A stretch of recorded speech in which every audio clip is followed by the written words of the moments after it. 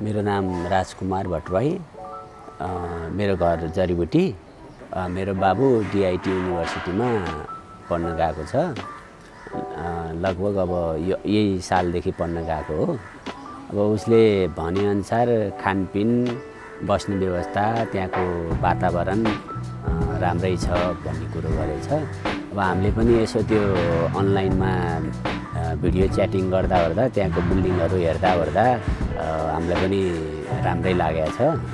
अब एक किसिमले बच्चाहरूलाई त्यो तपाईँको रिसोर्ट जस्तो फिल फिलिङ चाहिँ त्यहाँ आएको कुराहरू पनि गर्छन्।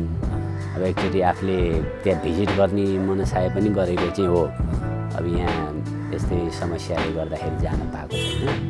यो चाहिँ अब खास बाबुले छाने भन्दा नि अब यो बच्चाहरूको सर्कल सर्कलमा र अनि अब साथीको छोरा पनि त्यहाँ पठाउने भन्ने कुरो थियो। अनि त्यसैमा अब यहाँ यहीँ पढाउने भन्ने कुरो चलिरहेको थियो। अब बच्चा त्यहाँ गएपछि होस्टेलमा राखेपछि अलिकति स्ट्रिक्टमा भएर केही प्रगति गर्ला कि। मेन चाहिँ अब होस्टेल बसेपछि अलिकति बच्चाहरूमा सुध्रिने मौका पनि पाउँछ कि भन्ने त्यो आधारले मैले चाहिँ उता पठाएको। मेन कुरो आफूले एकफेर गएर बुझ्दा पनि राम्रो हुन्छ। अब यहाँ म्यामहरूले भनेअनुसार सरहरूले भनेअनुसार यहाँको त सबैको रेस्पोन्स राम्रो छ। यहाँ भनेअनुसार अब हामीले त उता बुझ्न त गएनौँ। यहाँबाट बुझ्यौँ अब यति यति पैसा लाग्ने भन्ने कुरो आयो। अब त्यसपछि हामीले त्यहाँ खातामा पैसा हालिदियौँ। यहाँबाट जाने बेलामा बच्चाहरू सबै जम्मा गरेर हामीले पठाइदियौँ।